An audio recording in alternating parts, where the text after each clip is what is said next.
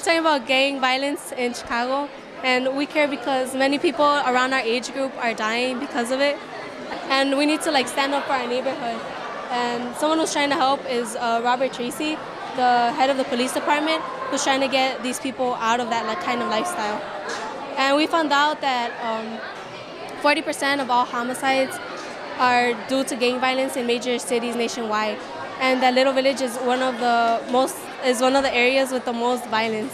And Chicago residents are twice as likely to be killed than people who live in New York or in um, Los Angeles.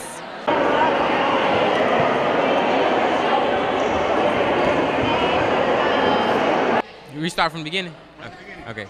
My name is Marquise Jackson. I attend Julian, Percy L. Julian Fresh Connection Gear Up.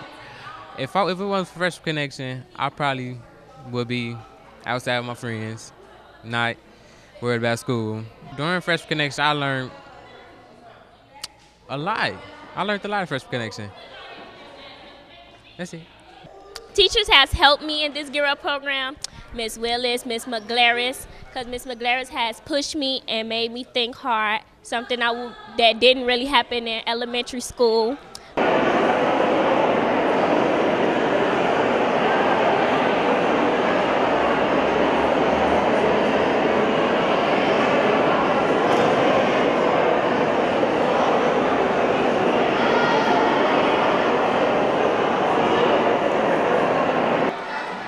We're talking about immigration here, and it, it's been affecting my life for like my whole entire life, my family, everything.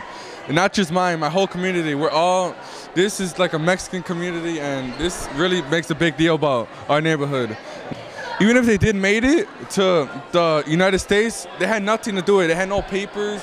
They couldn't get a job. They were struggling. They started out in the streets. And for those who, who made it, it's, a, it's amazing how they did it. They went to school they proved they proved to everyone that anything's possible.